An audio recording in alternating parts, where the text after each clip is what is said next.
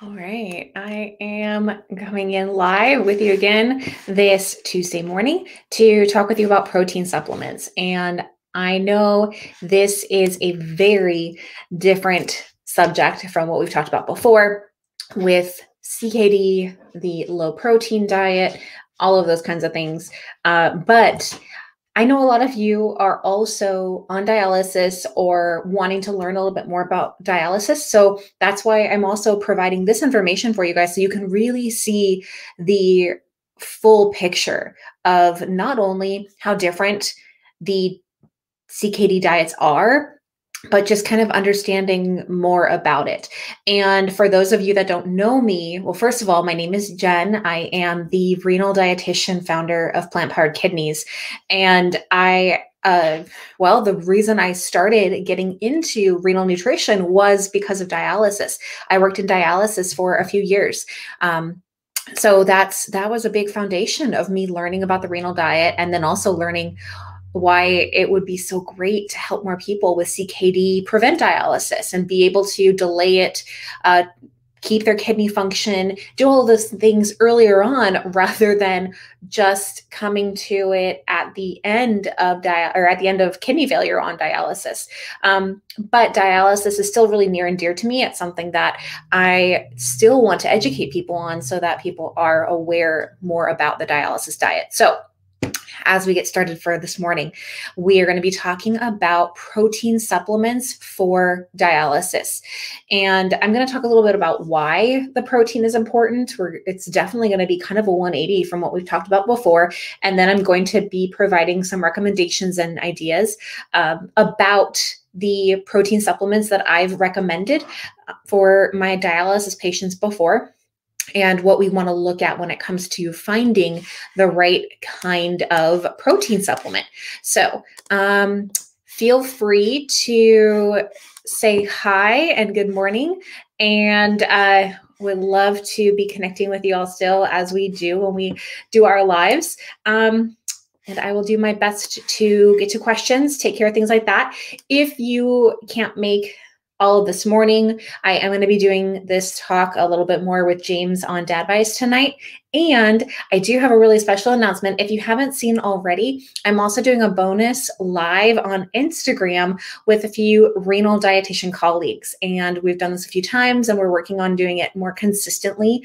Um, so we will be doing that tonight after Dad Dadvice at 7:30 Eastern, 7:30 p.m. Eastern. So I'm going to be going on live with you guys three times today. Uh, so I've got my uh, cup of coffee number two to get me going. So um, before good morning, before morning.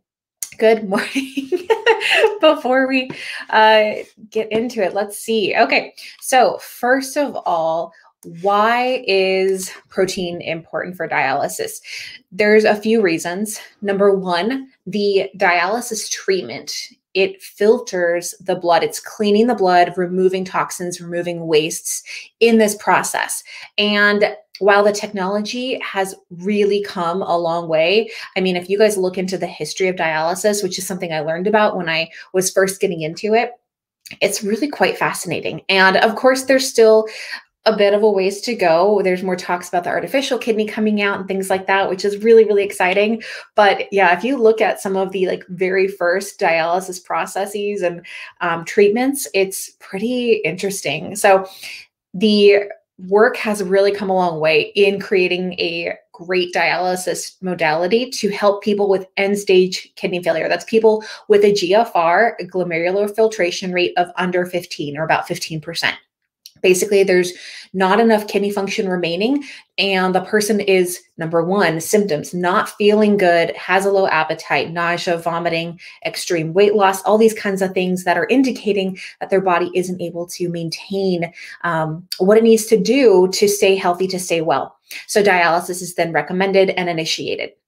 And in this dialysis process, it's like I said, removing the toxins, removing the waste. But part of that is sacrificed is some of the protein in the body. And one of the most common proteins that we know of in the blood is albumin. And you guys have heard me talk about albumin uh, in our renal function panel talk and probably many other places as well. But albumin is a protein in the body. It's made by the liver, uh, but it's in part removed through the dialysis process. So the theory is that we need to replace the protein. And there's some more information that we're learning about when it comes to this idea of dietary protein and albumin and other body proteins, and how there's some overlap, but it's not like an equal this for that. Losing this means you're losing that kind of thing. So we are still learning more about it, but what we do know is because dialysis takes some of the body's protein, we do need to replenish some of that. So the person on dialysis will have a higher protein goal of anywhere from 1 to 1.4 grams of protein per kilogram of their body weight. And if you guys remember my talk of the low protein diet, we were looking at underneath 0.8 grams below the normal range of protein. So this is really flipping it on its head and we're looking at this totally other side of the spectrum. And this is one of the reasons in which the nutrition can get super confusing when somebody starts dialysis that they think, wait a minute, I wasn't supposed to be eating this stuff. And now I'm supposed to be eating a tons more of it of different types of proteins. So that's one of the reasons the uh, diet can be really confusing on dialysis because it really messes with your head to be thinking of things that you've been careful of for so long that you're now being encouraged to eat, which is protein in this case. So, hey, good morning, everybody. Um, so, we're looking at this higher protein need in dialysis in part to help replenish or protect that albumin that's being lost in dialysis. Now, the goal for albumin on dialysis is to try to keep it above four. So if you look at your blood test results, if you're on dialysis and you have your lab report, which you should be getting, at least in the US, you should be getting once every month, your albumin, the goal ideally is at least four. Now, I did say that albumin and dietary protein aren't exactly parallel. They're not exactly the same. So it doesn't mean necessarily that just because you eat more protein, your albumin's automatically going to go up. There are other things that can cause an albumin to be in the lower range. And very, very often we see this in dialysis that a lot of people have a lower albumin because it there's so many other factors. So some of the reasons that a person can have an albumin underneath that goal of four could be being sick and i'm talking about like just having a cold or having the the flu or something just not feeling well for a while your albumin drops because it's working on helping you feel better if you have a skin breakdown if you have a wound if you have some kind of infection that is really requiring more protein to go repair that your albumin could be depleted and the way i explain it is thinking of like it's being dispatched. It's being dispatched into the body to go take care of things. So that number is dropping because it's being sent out. Um, sometimes it's a matter of not getting enough dialysis. And that is very, very common, especially as a person is transitioning new onto dialysis, that part of their treatment plan may be a lower amount of dialysis, and then it's going to slowly increase for the body to become acclimated, to get used to the dialysis process. And even in that transition, the albumin can be lower as the body is still kind of dealing with these this, this waste buildup that's still slowly being removed. Um, even just the starting dialysis can be a trigger for inflammation. And inflammation is basically like the king of why albumin is low. The question is what's causing the inflammation. So it could be the start of dialysis. It could be not getting enough dialysis. If you are on PD, if you're just starting peritoneal dialysis, or if you're just starting, let's say, emergency hemodialysis, where you have the, the CVC, you have the catheter in the neck, or if you're on PD, you have your catheter in your belly that is uh, that required a little surgical procedure and that procedure can induce inflammation because right away the body's going to want to go repair and take care of that area uh, very very often i would have my patients with the cvc and their protein would be consistently low until they had their permanent access put in for dialysis. And that's again, this is something that is a risk for infection. This is something that's going to have potentially a lower albumin, but really the, the ultimate concern is that high risk for infection because it's going directly into your heart. And that is not recommended for a long period of time. and that's why they get in you, you'll your dialysis team will encourage you if you have a cvc to get that replaced with a fistula a graft or your uh, peritoneal catheter something else so that it's not being directly related to the heart um, and i'm sure a lot of this for you guys who are not on dialysis is pretty like oh my gosh like there's so much and there really is but um, dialysis in the us does provide a dietitian in the clinic who will be seeing you at least once a month to do checkups and educate you on your dialysis diet. So, a benefit of dialysis is that you get a healthcare team that is there who is trained to take care of you on dialysis and provide those personalized recommendations for all aspects of your health. So, uh, that is a really, really good thing to have that team there who is educated and supportive for your health goals. So, one of the reasons we're looking at more protein in the diet for dialysis is that albumin, that extra need for protein because of how the protein is being utilized from dialysis, how it's being pulled from dialysis. There is a uh, there's another lab test that is usually in the dialysis lab report is called normalized protein catabolic rate. It's NPCR. And basically this is measuring the waste that they see from your blood test to estimate how much protein you're eating in your, diet. And there's some, you know, anything that's estimated, there's some um, flexibility there when it comes to how accurate it is, but it does give an idea of how much protein you're eating. Now, as I mentioned, people on dialysis are going to be 1 to 1.4 grams per kilogram. And that's basically the number they're looking for with NPCR. They're looking to see if it's at least 1, 1.2 for PD that takes out more protein in dialysis. It's 1.4. So it's kind of giving us an idea of how much protein is in the diet, how much protein is being metabolized in the body from those wastes. It's calculating kind of reverse um, reverse engineering or reverse calculating what that protein is that you're taking in your body. So these are some reasons why protein is really important for people on dialysis. And again, big, big disclaimer here for you guys these protein supplements in general are not going to be recommended for somebody who has CKD and is not on dialysis. If that is you, if you're watching, hopefully you're watching just to learn more about CKD in general, learn more about dialysis to become really well informed. I'm a huge advocate for being informed about the full process and really understanding as much as you can about this. Um, but if you have CKD and you're not on dialysis, you should not be taking protein supplements. And we see this in the Plant Powered Kidneys Facebook group. We see questions in there, a lot of uh, things, a lot of topics related to protein. But for CKD, the low protein diet is going to be preserving kidney function. So you don't want to be taking any kind of protein supplements if you are not on dialysis. But for my dialysis warriors, this is for you particularly to learn about supplements that I have recommended to my past and current clients that are on dialysis. So uh, I'm going to run through this. I don't have as much time today. Uh, as I mentioned, I got a few lives for you guys. I have Dad Advice tonight and then an Instagram live with a few other dietitians. So we're going to be doing some stuff there as well for you. But uh, the there's different types of proteins that you can look at when we talk about protein supplements. So this is going to be kind of, again, a bigger picture about protein in general. So you have, for example, you have protein from animals, you have protein from plants, uh, and those are like the two big, the two biggest categories. And then we can kind of break them down into different sources from those categories. So from animals, you have whey protein, Whey is probably the most popular. And I'm guessing most of you, if not all of you, have heard about whey protein powder, whey protein supplements. This is the type of protein that comes from milk. So it's an animal based protein, but it is a very strong or potent type of protein in which it is highly absorbed. There is a term, um, I always have to look it up because I have a hard time remembering it protein digestibility corrected amino acid score. PDCAAS.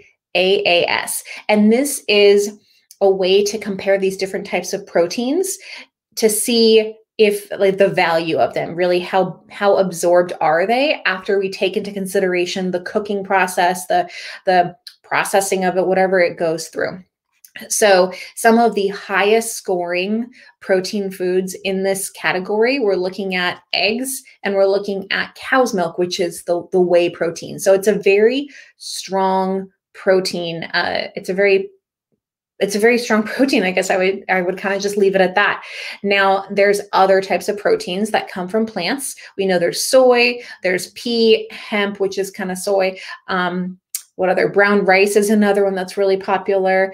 So there are plant proteins and they are really great still. Soy in fact is very comparable to other like to beef.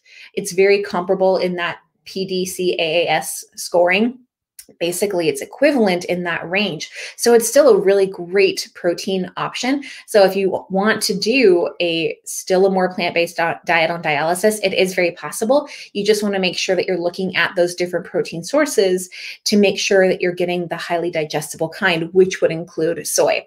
In fact, many people on dialysis, if they're literally on the fence about it, I'm like, well, what about vegetarian? You could do eggs, you could do milk, or you could do the whey, you can do still soy. You can have all these different types of protein sources that are all really digestible and really beneficial.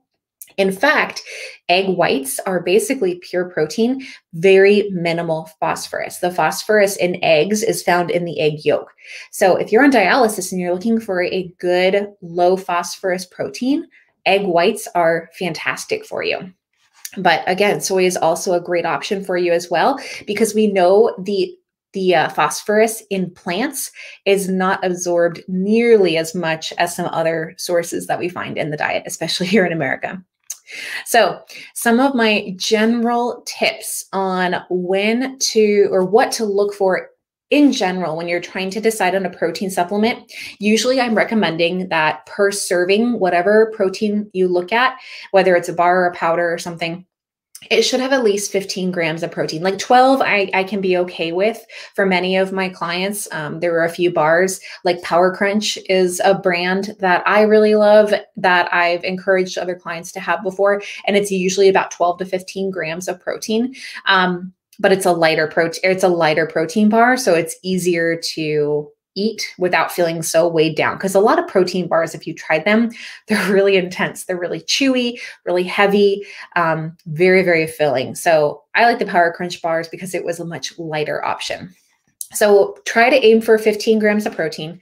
When you're looking at potassium, not every single bar, powder, whatever, what have you. They won't always have potassium, but ideally you want to look for some that are that's less than 250 milligrams potassium per serving. And this is just because it's more it's mostly going to be like added potassium or it's going to be from parts of their ingredients. And i do want you to have potassium. Even on dialysis potassium is still something that's really important to have just in a different range compared to other people um, not on dialysis. So being careful with potassium be mindful about that. The sodium some of these bars and powders can be really high in sodium. So 300 milligram is my is my cap. That is my cap for sodium for a protein bar and ideally or a protein powder. And ideally, if it's up at that 300 milligram range, then the protein should be up there too, like 20 plus grams. You don't want to have a bar that is 10 grams, but is giving you 30 or sorry, 300 milligrams of sodium because that ratio just kind of seems off. You're not getting as much protein, but you're getting the higher end of sodium. It's not really worth it. And then, last but absolutely not least, if anything, probably one of the most important things, make sure there's no phosphorus additives. Okay. Make sure that you don't see PHOS anywhere on the ingredient list. That is really, really important. Um, and, and a lot of the plant based options will not have phosphorus additives, but I will say I have seen. Uh, I have seen protein supplements that will be promoted as organic and non GMO and yada yada and have phosphorus additives. So, just because they give a lot of great marketing to tout all of these fantastic benefits that they like to say, doesn't mean that it's going to be without phosphorus additives. And even potassium additives i'm really hesitant about. Um, if they have potassium additives make sure that they're listing the potassium content which i believe they should be doing. Um, but you want to pay attention to that for sure. So that's a really quick rundown for me about like the general recommendations when we're looking at these uh, different types of protein supplements. And then when you're deciding between a bar or a powder, you can absolutely you should be talking with your healthcare team about which one was best for you but also taking some other considerations like your lifestyle and then also something very very important for people on dialysis is the fluid restriction. And the reason i say this is if you choose a protein powder you're going to need to mix it into liquid even a little bit of liquid but that would still count as part of your fluid restriction so if you're doing a protein powder, but you have to be really careful with your fluids, or your team is telling you that you're bringing in too much fluids between your treatments, the protein bar may be a better option. But like I said, the protein bars can be pretty heavy uh, in in their consistency, and if it makes you really thirsty, then that can also offset your fluids. So you might want to kind of play around with maybe some of the bars that are a little bit lower on the protein side, like the Power Crunch one that I that I mentioned. Um, that one, um, the Zone Perfect bars, the lighter bars that don't have as they're not as dense, so they might not make your mouth as dry, make you as thirsty. So um, hopefully that helps and yes, so Denise asked, can you share the supplements so I can write it down? Actually, I do. Um, I do have a blog article, and let me share that. So all this information you can find at the website plantpoweredkidneys.com slash protein supplements for dialysis patients or you can just click on the blog link at the top on my menu and right away you get the most recent article which is just put out today about this topic. And I have links to all different kinds of protein supplements there that um, that I recommend. And these are the kinds that I've personally used or that I've recommended to clients based off of these factors like phosphorus and potassium. And I do on that article, I do even have a um, table that shows a comparison. I break them down into, into the different types of protein. So I look at whey protein, I look at collagen protein, which is another type of animal protein. I look at the plant based protein options, which are the pea, the hemp, and the brown rice. And I have bars and powders recommended on both sides. So we have tons of recommendations there. And of course, I've become a really big fan of tables. And if you guys uh, like the tables, if you like that information in the blog, I would really appreciate feedback from you guys. Um, if you can comment at the bottom of the blog or even here, if you want to post in here to let me know what you think, I'm always open to feedback, um, good or bad. Really honest feedback is always really, really helpful for me to make better content, better better information for you guys to learn from. So, the recent blog article that I have posted up from today um, has the different types of protein bars that I have personally recommended to my clients. Um, there's there's quite a few, but there are some there are some things that you definitely want to pay attention to with these different types and really focus on what is most important to you, whether it's your potassium is your biggest concern, your phosphorus is your biggest concern, your protein is your biggest concern, whatever that factor is, really kind of hone in on that area. And then, as I've mentioned, make sure you speak with your healthcare team before you start a a protein supplement because it's really great for dialysis, but it's definitely not advised for anybody not on dialysis with CKD. That is not going to help you preserve your kidney function. Uh, it's going to make it harder for your kidneys to be digesting and taking care of more protein. So, finally, the other uh, quick thing I wanted to bring up today when we're talking about these protein supplements is kind of a two part a two part topic. So, there are ready to drink protein supplements. And most of these, like 99%, 99.7%, something way up there, most of these are not going to be recommended because a ready to drink protein shake is almost guaranteed to have a preservative made from phosphorus and or potassium. And that's just because it is preserving, it is helping to keep that carton shelf stable. It's helping to keep it preserved. There are two ready to drink protein supplements that I have personally recommended and I have utilized in my clinics. So one of them is called Nepro. And Nepro is a supplement, and it's even on the label. It says specifically for uh, people on dialysis. And it provides a lot of protein. It has all the nutrients listed out, including potassium and phosphorus. Um, but it is kind of a medical food. It's pricier. It's definitely on the pricier side. So you're really paying for this personalized, uh, this protein drink that is meant specifically for dialysis. Um, that being said, if you do need something that's grab and go, I think Nepro is a great option. They have vanilla mixed berry and butter pecan, which butter pecan was always my favorite.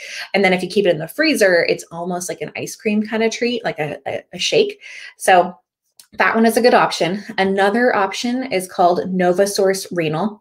Now, NovaSource Renal is a very comparable type of product from another company. Um, and they have vanilla. Oh man, there's there's to be honest, I haven't um, I haven't used as much. Um, I know they have their vanilla that's all I can think of right now for NovaSource, but it's still another good option. Both of these you could find on Amazon. You might even be able to find them at your local Walmart or in your pharmacy. You'll probably have to ask the pharmacist, and it's not required that you have a prescription for these. Um, but again they're they're specifically for people on dialysis and they're not cheap. So i would definitely talk with your healthcare team first before starting this to make sure it makes sense for you because i would hate for you to be um, buying something that may not even be beneficial for you now, another thing about the protein supplements on dialysis is many dialysis clinics. And again, for those of you that uh, don't know enough about my background, I've worked in several dialysis clinics. I worked both with DaVita and with Fresenius. And both of these companies have what's called an oral nutrition uh, supplement program, ONS supplement program, or an ONS program. And what this is, is for people on dialysis with an albumin, their protein level under 3.5, 3.5 or underneath, they can qualify to get a protein shake or a protein bar, some kind of protein supplement during their dialysis treatment. Uh, and this is across the board offered to all of the patients on dialysis. Now it's the patient's decision on if they want to have that supplement or not. So it's always your choice, but you can only qualify it if you for if you have that qualifying albumin level. So you need to talk with your healthcare team about this. And it is covered, it's a covered cost by Medicare um, by the insurance companies and the dialysis companies to help those with a low albumin. But if you have a, an albumin improvement, or if your albumin, let's say, hits that goal of four, or if it comes up higher for a few months, you might become uh, removed from that ONS program because your albumin has improved. That being said, some research has shown that the albumin improvements or the protein improvements are short-lived and they'll especially they'll drop off if somebody stops a protein supplement. So um, it's case by case basis and there's a, as i mentioned there's a lot of factors related to your albumin level related to inflammation other reasons why your protein level would be lower but it's kind of important to keep in mind if you are started on a protein supplement that you might need to maintain that regimen to see sustaining results, to see your protein levels stay remain at the goal or higher. So that's some some of the things that I wanted to kind of cover. But as I mentioned, um, as I mentioned, let me pull it up again. This is the URL for the article, or you can go to just plantpoweredkidneys.com. And when you click on the blog, it will take you to all of our articles. We have a new article every week that comes out. And this one is all about protein supplements specifically for people on dialysis. So I hope that you all find this information helpful. I know not everybody here is on dialysis or planning on dialysis, but I do know that there are a bunch of you that are on dialysis that are looking for this information too. And as a renal dietitian who has helped people in every stage of CKD, even through dialysis and even through transplant, uh, I do want to work on addressing a lot of these different topics for a lot of different scenarios. So again, I really hope that this has helped been helpful for you guys. I will be talking more about this tonight on Dadvice TV live. So that'll be Tuesday, the 27th of July. At 6 p.m. Eastern. And then I'll be doing a special Instagram live. If you guys uh, don't know, you can follow me on Instagram. I'm at plant.power.kidneys. and we share daily tips and information there as well about uh, the renal diet. And we'll do lives and videos there too. So uh, I hope you all have had a great time tuning in today.